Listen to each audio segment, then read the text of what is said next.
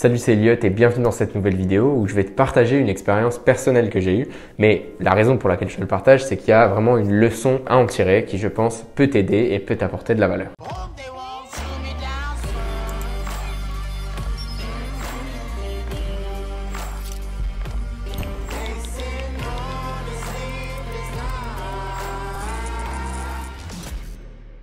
Alors cette histoire, c'est l'histoire de comment j'ai pu générer 7500 dollars en seulement 7 minutes. Donc pour recontextualiser, on est le 2 octobre 2020, donc en pleine crise sanitaire. C'est le moment où la peur est à son comble, où le taux de mortalité du virus est le plus haut, c'est-à-dire que quand les personnes ont le Covid, ils ont vraiment peur pour leur vie. Donc à ce moment-là, comme je disais, on est le 2 octobre 2020. Je me rappelle qu'il est minuit 10. J'étais en train de trader à Panama à ce moment-là. Donc il faut savoir que quand je suis arrivé à Panama, je tradais l'ouverture de la session de Londres parce que je voulais pas changer mes habitudes.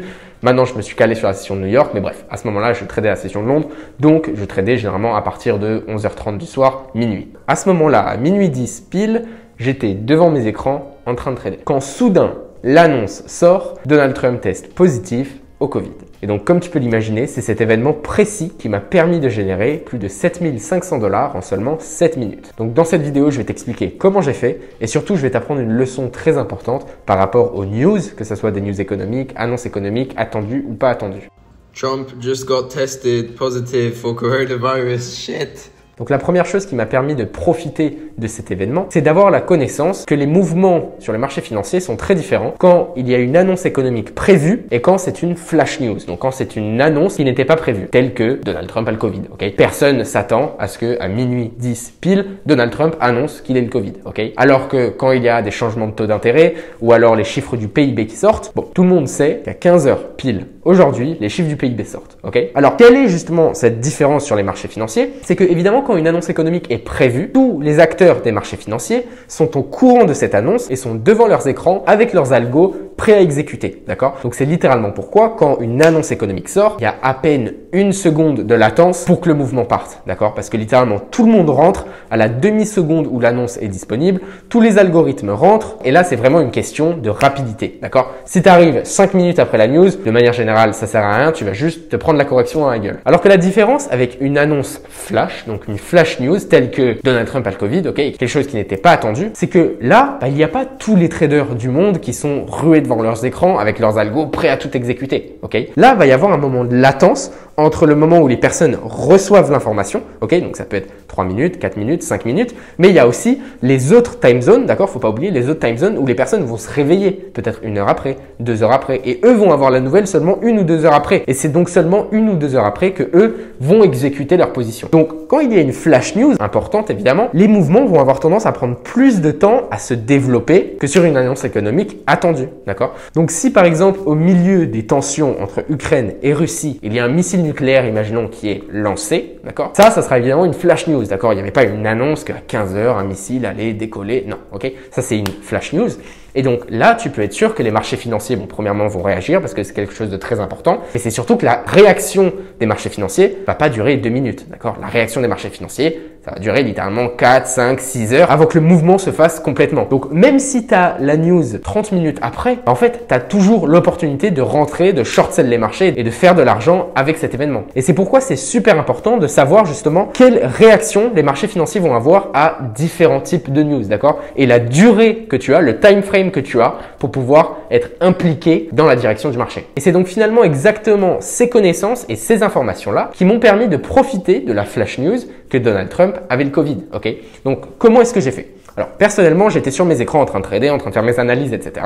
Et il faut savoir que quand je trade, j'ai un service qui tourne en background qui s'appelle Raw Squawk. Et en fait, ce que c'est, c'est comme une radio, si tu veux, en live à la seconde prête, où tu as quelqu'un qui t'annonce euh, tout ce qui se passe sur les marchés financiers. Donc quand il y a une annonce économique, par exemple, au lieu d'être euh, sur Forex Factory ou sur n'importe quel calendrier sur lequel tu es et rafraîchir la page et puis avoir l'annonce une minute après qu'elle sort, bah là en fait à la seconde où elle sort, tu as quelqu'un à la radio qui te le dit, donc tu même pas besoin de checker, rafraîchir, tu peux littéralement être sur tes écrans, sur tes plateformes, et quelqu'un vient te dire, ok, les chiffres du PIB sont sortis, on a 52.3 contre 51,5 qui était attendu, et tout de suite, en fait, tu peux prendre une décision, ce qui est plus rapide. Donc je sais plus exactement combien me coûte ce service, mais de souvenir, c'est entre 150 et 200 euros par mois. Après, toutes les personnes qui rejoignent ma formation ont accès au workspace Slack où donc on peut échanger entre moi, toutes les autres personnes de la formation, etc. Mais il y a un canal spécial où toutes les news sont relayées, d'accord, avec un algo. Et donc de cette manière-là, toutes les personnes de ma formation peuvent avoir un équivalent à Rosquawk de manière complètement gratuite. Voilà d'ailleurs un screenshot de l'annonce que Trump a eu le Covid, donc justement le 2 octobre 2020 que tu peux voir sur la plateforme, sur le workspace Slack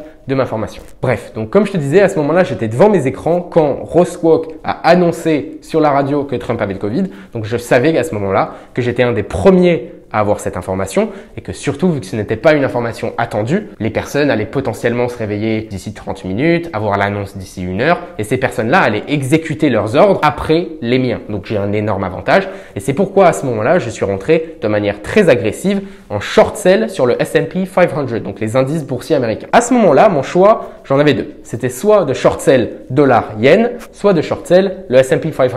Alors pourquoi un de ces deux-là? Tout simplement parce que pour moi, euh, l'impact sur les marchés de Donald Trump qui teste positif, sachant qu'à ce moment-là, évidemment, Donald Trump était président, ok, allait avoir un gros impact sur les bourses américaines et le dollar. Et donc pourquoi dollar yen Tout simplement parce que si je dois vendre du dollar, j'aimerais potentiellement acheter une safe haven currency, donc une monnaie qui aurait tendance à monter quand il y a du risque, tel que le yen japonais à ce moment-là. Maintenant le yen japonais c'est un petit peu différent, mais bref. Donc mon choix personnellement a été le S&P 500, tout simplement parce que je crois que je l'avais sous les yeux, donc c'était plus rapide pour moi de le trader. Mais donc tout simplement ce que j'ai fait, c'est short sell le S&P 500 de manière agressive, en gros en scalp. D'accord? Donc juste essayer de choper le momentum et essayer de rentrer juste avant toutes les autres personnes qui allaient avoir l'annonce, que ça soit sur Twitter, que ça soit une notification, que ça soit dans les news, peu importe, qui allaient prendre leur position ou vendre leurs actions ou peu importe et juste me placer avant. Donc ce qui m'a vraiment permis de générer des profits à ce moment-là, c'est l'expérience et la confiance de savoir exactement ce que je suis en train de trader. Pas de me dire, est-ce que ça va avoir un impact sur les marchés? Est-ce que le moment global, il est déjà tout arrivé J'arrive à la fin, je suis trop tard? Non, d'accord? Je sais très bien ce que je suis en train de trader de part de l'expérience sur les marchés et de part de la connaissance. Et c'est seulement en ayant des connaissances, des bonnes bases et de l'expérience que tu vas pouvoir en fait diminuer tes risques sur les marchés. Maintenant, ceci dit, j'aimerais bien éclaircir un point qui est que tu ne peux pas comparer tes résultats au résultat des autres. Quand je mets en titre comment j'ai généré 7500 dollars en 7 minutes, la réalité, c'est que ça ne m'a pas vraiment pris 7 minutes. La réalité, c'est que ça m'a pris 8 ans d'expérience, c'est que ça m'a pris des dizaines de milliers d'heures devant les écrans. La réalité, c'est que j'ai tradé ce mouvement avec un compte de trading à 6 chiffres. Donc si toi, dans ta situation, ça fait 3 mois que tu t'intéresses au trading, que tu as un compte avec 800 euros, mes performances ne vont pas être comparables aux tiennes. Et c'est bien normal. Et j'en suis aussi très fier parce que je sais que j'ai pas travaillé toutes ces années pour rien. Mais ce que je veux dire là, c'est que donc, un, faut pas que tu compares, mais deux, il faut que tu réalises que c'est possible. Et je veux vraiment que tu aies une mentalité un peu plus long terme, ok?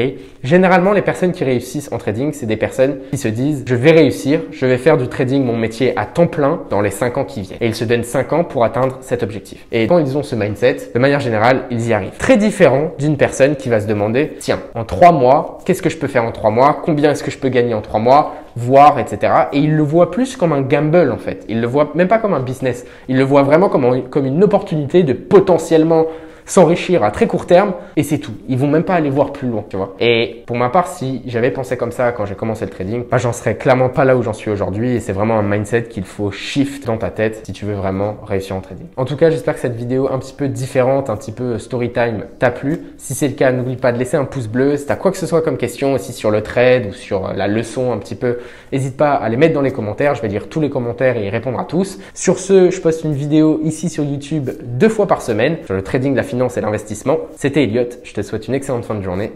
Ciao, ciao. They hate when you elevate.